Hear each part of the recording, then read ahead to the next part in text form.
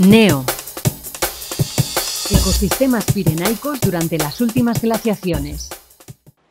El complejo kárstico del Réseau la Chambre está situado en el Conflent, en la Cataluña Norte.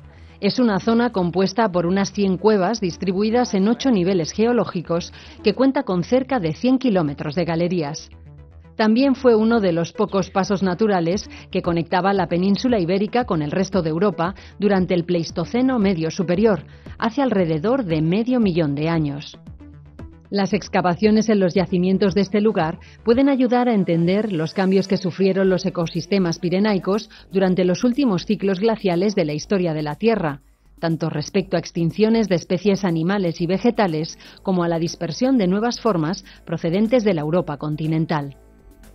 La investigación paleontológica de los últimos 10 años ha permitido recuperar restos fósiles de úrsidos, también llamados osos de las cavernas europeas, leones, hienas, lobos y leopardos. El grupo Paleodiversidad y Filogenia, al que pertenece Joan Madurell del Instituto Català de Paleontología Miquel Cruzafont y de la UAB, se ha centrado en el estudio de una de las pequeñas cuevas de este complejo kárstico, la Grotte de la Carrière. El proyecto transfronterizo cuenta con la colaboración de personal del área de prehistoria de la Universidad de Girona, con el apoyo de la Federación Catalana y Francesa de Espeleología y está financiado por el gobierno francés, catalán y español. El equipo de Madurell descubrió la Grotte de la Carrière en marzo de 2012, una cueva muy rica en carnívoros fósiles, úrsidos, leones, leopardos, linces, hienas y lobos. Una de sus características principales es el amplio lapso temporal que abarca, de 40.000 años a 400.000 años de registro.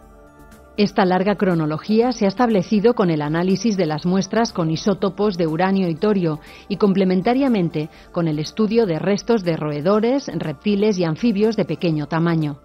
En los últimos 600.000 eh, años de historia de la Tierra eh, han sucedido una serie de glaciaciones muy importantes.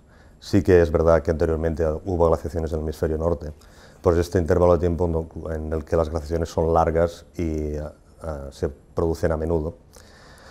Nosotros desconocemos en gran parte cómo evolucionan los ecosistemas de los Pirineos durante este intervalo de tiempo y encontrar una cueva en esta parte del sur de Francia que tenga un registro amplio nos permitirá, eh, suponemos en el futuro, poder conocer la variación de la distribución de especies, tanto vegetales como animales, extinciones, aparición de especies nuevas y eh, hacer predicciones de cómo serán los cambios eh, futuros si realmente eh, los cambios climáticos que sucederán por la acción humana acontecen en los próximos centenares de años. En la Grotte de la Carrière se han realizado cuatro excavaciones sistemáticas desde 2015 y dos sondeos en profundidad de unos 8 metros cuadrados cada uno.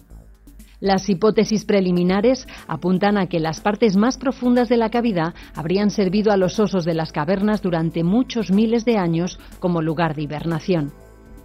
Las zonas más superficiales, en cambio, podrían haber sido habitadas alternativamente por varios carnívoros, como leones, hienas y leopardos, que llevarían restos de sus presas a la madriguera.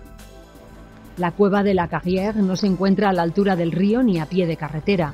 Está situada a unos 60 metros por encima del canal de Boera. Para llegar, el equipo de Madurell debe caminar una hora y transportar el material, el agua, la comida y las muestras hasta el interior. Incluso deben atravesar un punto estrecho de unos 20 centímetros de ancho a lo largo del recorrido. La precariedad de las muestras añade más dificultades al proyecto, dado que el 90% de humedad constante dentro de la cueva las deshace.